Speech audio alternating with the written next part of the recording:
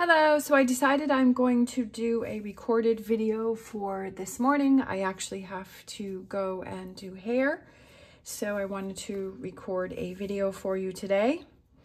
So, as always, take what resonates, leave what does not. If you're interested in any of the cards that I'm using, the links are down below. Also, I have my beautiful Rose Forever roses that I absolutely love, so I'm always trying to tell you you know, what are those things that can help you? And definitely these roses from Rose Forever help me because the bouquets last for a long time. There is a link down below to my unboxing video and also for a $25 off coupon that is good until October 29th if you want to check that out. Okay, so let's get an empowering question. Wow, okay. Okay, everything's kind of all over the place, but that that's okay. Let's see, we have this one that turned over too. So I don't think there's any others. So you never know what can happen, right? Unexpected. Okay, so we have what is the worst that could happen if I let go of things that no longer serve me? Definitely a very good question. If this was my last day, would it would I be satisfied with my life? What would I have done differently? Those are really good questions. Definitely those are really good questions. Lots to think about. That's kind of why I like those cards. It's kind of you know, as I'm always saying, ask yourself those questions. If you're feeling a certain way or you, you know, you're you're struggling with something, as ask yourself those questions. And that's why I like these cards because they kind of ask the questions for you. Right. And, and I love, I love, you know, having, I love when it, there's that challenge of asking questions. You're like, oh, that's a really good question. Let me think about that. Right. And that gets your mind going and that gets you being creative and it gets you thinking and, you know, kind of getting out of that rut, you know, really gets your mind moving and, that can lead to other things, right? And it can lead to other directions. So we have the Four of Wands, we have the Ace of Pentacles, and we have the Four of Cups, so what you may possibly be struggling with. We have what do you need to focus on? We have the Star, we have the Page of Wands, and we have the Four of Pentacles. And then we have the Page of Cups, we have the Page of Swords, and we have the Devil card. And bottom of the deck, we have the Page of Pentacles. All right, so we have lots of pages here, right? We have all four pages. We do. Look at that. We have the Page of Pentacles, the Page of Wands, we have the Page of Cups, and we have the Page of Swords. I don't think that's ever happened before. Pages. Pages is young, new energy, right? It's new ways of looking at things, new ways of doing things. Um, I almost feel like it's it's a reset button, a re restart, reset. Um,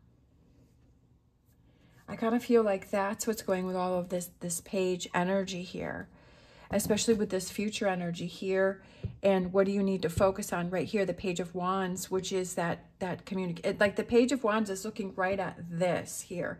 I kind of feel like there is a partnership. It could have to do with something with work that you've kind of lost that interest. I feel like you've, you've kind of um, lost interest in that. Let's see, let's grab some other cards here and delve a little deeper in this the moon, yeah, unclear, deception, um, not listening to your intuition, having this feeling of change. Page of Pentacles, look, another page. I feel like there's, for some reason, I'm kind of getting a strong feeling that there's a new opportunity having to do with work that you want to pursue. And I feel like this is something totally different and it's a complete different direction than what, what you're used to going. And I feel like you may be struggling with that. Um, I almost feel like it's something that you want to do, but, and you kind of have it mapped out in your mind, but you're like, I don't know if I want to take that initial first step, right? so that initial, that initial first step can be the hardest thing. um, not letting what other people have to say hold you back or affect you. I kind of feel like there is someone that is around you that is kind of maybe questioning it or making you feel guilty or maybe kind of holding you back from going after things that you want to um, achieve. I feel that it's kind of like with this King of Wands here, it's it's kind of looking back and over and saying every time and realizing every time that I've listened to somebody else, every time that I followed what they've wanted me to do, that it didn't really turn out the way that I wanted it to turn out. And that you felt that there was a loss, that you felt that um, maybe you're, you weren't as satisfied, right? What is the worst that could happen if I let go of things that no longer serve me?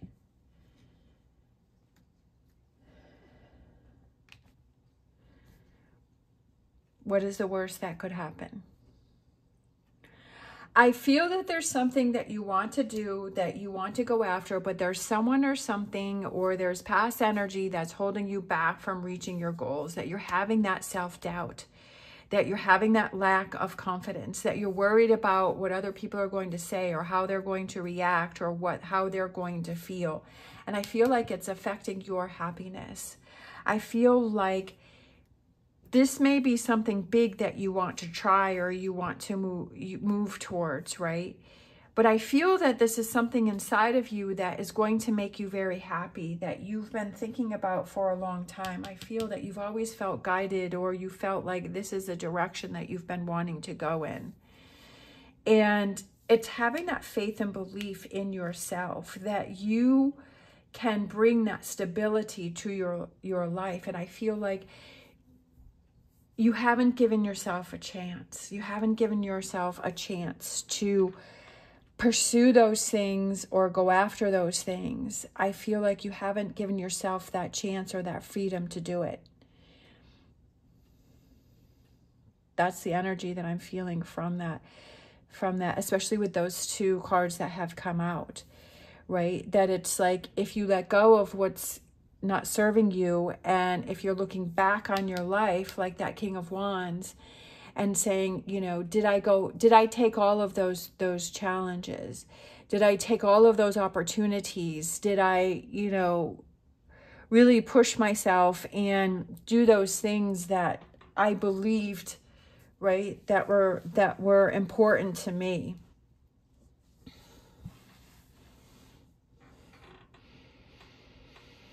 And like I said, sometimes it's really hard to take that first step. That first step is, you know, you can think about it all that, that you want, but it's like taking that actual first step and making things happen. That can be the hardest thing to do because you're like, okay, I'm on that path, right? I'm making those changes. I'm doing it. But that's exciting. You know what I mean? It's that thrill of excitement and saying, okay, I'm doing it, right? Taking control of this situation and being in your own power and don't deny yourself your own power for things that you want to go after or things that you want to do or things that you want to achieve, right? Put to rest those things that hold you back and go through that transformation, right? Put putting those things to an end. The death card represents the end of something that is holding you back, but it also represents transformation because it's starting new and it's starting fresh, right? It's a new way of thinking. It's a new way of, I feel that there's a big transformation here. For I feel like it's go for it. Again, my mind is going quicker than my mouth. But I get so excited with these readings and it's like, go for it. Try it. See what happens. I'd rather try something and fail and be proud of myself for having tried something rather than, you know, be frustrated with myself. Well, I never took that chance or I never took that opportunity or I never did anything. I just kind of sat there and just let everybody else or just, just let things be, right? I'm not, make things happen for yourself. Create your own justice. Make things happen for yourself that's why I get, like I've said it before, is, is when I was working at the grocery store and I would tell people that, you know, I started a YouTube channel. They're like, oh, I always wanted to do that. I always wanted to try that, blah, blah, blah, blah, blah. I'm like, do it, do it, go for it, try it. No, I could never do that. I'll never succeed at that. I'll, that'll never work. I'm like, oh my gosh, like it was so frustrating. It's like you're already setting yourself up for failure because look at your your attitude towards it. So yeah, it's not going to work and you don't even want to try it. And I, I get to the point where I just would walk away because it would be so frustrating because I'm that type of person like try it, you know, go for it, make it happen. Change your, change your attitude, change your attitude. Change your attitude about the situation, about what you believe in, right? Don't let all of those doubts get in there. And I feel like with Capricorn having the devil card, I feel like there's always that devil that's sitting on your shoulder that's always trying to tell you that you're going to fail or you're going to, you know, that you're you're going to not succeed or things are going to happen or you know i'm a capricorn sun and a capricorn rising so i have that twice strong capricorn and, you know, there are definitely times that there's been many times in my life where it's that self doubt, but I'm like, no, I'm going to turn that energy of that self doubt and that, that devil energy of that negativity, and I'm going to harness that fire. I'm going to harness that passion. I'm going to harness that energy, and I'm going to use that to push me and propel me forward and to make those choices and do those things that I want to do. That I'm not going to have this energy work against me in the negative way, that I'm going to take that and I'm going to use that negative energy and I'm going to say, you know what, I'm not going to fail. I'm not going to prove you right, devil card. I'm not going to prove you right. I'm going to prove you wrong and I'm going to try it and I'm going to do it and I'm going to go against what everybody else is you know they're they're saying or they're thinking and i'm going to show them right? Um, and whether i succeed or fail i've already won. I've already succeeded because i didn't fall victim to that devil energy or that i can't energy because i've already won because i am choosing that i can and i will and so I've already chosen not to fall into that. So I've already succeeded. Before any results have even happened, I've already succeeded. And that's the energy that you have to embrace here. Don't deny yourself of those things that you love and that you enjoy and that you feel guided towards doing. And when you start to make those choices, which I've said before, and you start to do those things that you enjoy, then you kind of, the, the people that were associated with your old ways where the you had the I can't, those start to fall away. And then you start associating yourself with that new community, with the I can community, and you surround yourself with those people that are supportive of you and that help to fuel you to push you forward. that that's what take control take your own power right take control of the change that thinking process. Make things happen for yourself. If you want things to happen, you have to take the steps to make them happen. Don't put that power in anybody else's hands except for yours. You take control. You take power, right? The devil card is a powerful energy, but use that power in a positive way, right? Flip the script, turn it around. Use that power as a as a positive energy for yourself to achieve your goals. Don't see it as as a negative, right? Because then you're already setting yourself up for failure, right? Just like those people that I was saying, go after it and do a YouTube channel, but they're like, no, I can't do that. Okay, well, that's you.